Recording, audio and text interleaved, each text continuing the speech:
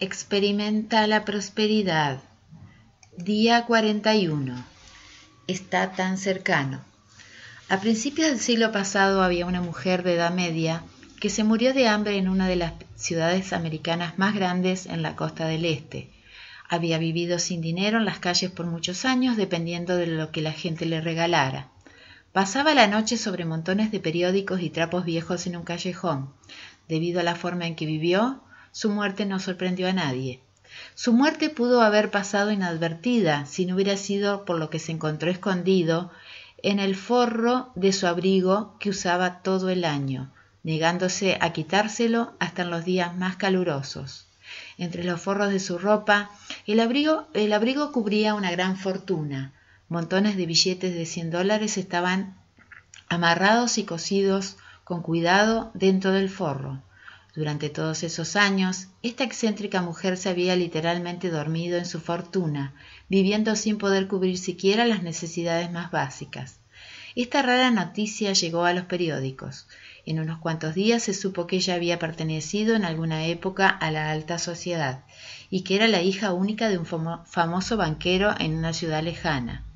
De acuerdo al vocero de la familia, ella desapareció varios años atrás y aunque se hizo todo por encontrarla, nunca la encontraron. La familia pensó por años que ella había muerto. Nadie en su familia sabía que ella vivía, ni cómo había vivido hasta su muerte, ni sabían ni entendían por qué había elegido dejar esa vida de lujo y confort. El dinero que encontraron en sus ropas era legítimamente de ella. El vocero de la familia atestiguó entre las autoridades y la prensa que el total era la cantidad exacta que ella había retirado de su cuenta personal el día antes de su desaparición. Él no sabía por qué ella no lo había usado. Existe la posibilidad de que habiendo crecido rodeada de riquezas, recibió tantos mensajes erróneos acerca del dinero que esto torció completamente su percepción.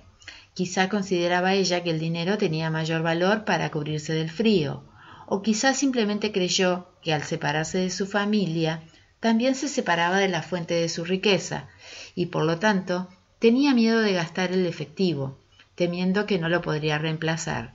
El miedo que tenemos de perder algo y el confort que sentimos son las principales razones por las que muchos de nosotros no podemos soltar.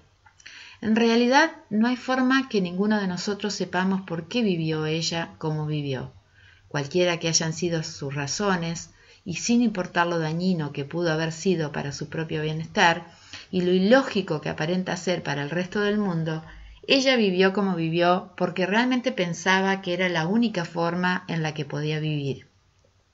Y ciertamente no es la primera persona en comportarse de manera tan bizarra en cuanto al dinero con patrones y creencias erróneas. Cada uno de nosotros está cubierto en riquezas, tenemos tanto dinero a nuestro alrededor como esa mujer de mente usando un abrigo con forros de dinero. Sabemos esto por la física cuántica.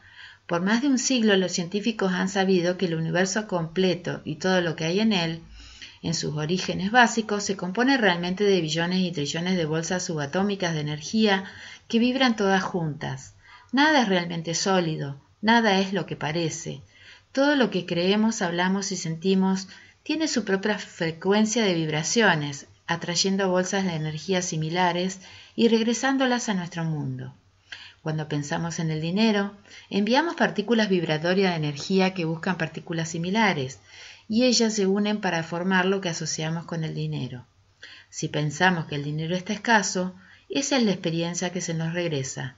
Si pensamos en nosotros como bendecidos abundantemente con una fuerte fuente infinita de riquezas, entonces, como en el primer ejemplo, esto se vuelve nuestra realidad. El dinero no está hecho de energía, es energía, energía pura que responde a nuestros pensamientos. El único valor que el dinero tiene es el que le asignamos. Siempre está presente, como todo lo que podríamos necesitar o desear, simplemente esperando en la forma de energía, listo para responder a nuestras órdenes vendrá o se irá, dependiendo de nuestra atención. Esencialmente el dinero está en todo momento más cerca de nosotros que el forro de la ropa que usamos. Nuestro trabajo no es llamarlo hacia nosotros, sino recordar que ya está aquí. La acción del día. Lee tu plan de negocio para la prosperidad y las 11 cosas de tu lista de agradecimientos. Coloca tu cuota de dinero del día de hoy en tu contenedor y lee la afirmación que está en el contenedor tres veces. Espera recibir algo en regreso. Bendice a todos los que están a tu alrededor, incluyendo a los otros participantes en este experimento. Imagina cómo aquellos a quienes bendices y prosperan y se rodean del bien. Entonces bendícete a ti mismo e imagina lo mismo. Puedes continuar bendiciendo a la persona o personas en tu lista de bendiciones. El pensamiento del día. La abundancia no es algo que adquirimos, es algo con lo que nos sintonizamos. La afirmación del día. Estoy sintonizado con mi prosperidad. Estoy sintonizado con mi prosperidad. Estoy sintonizado con mi prosperidad. Bendiciones.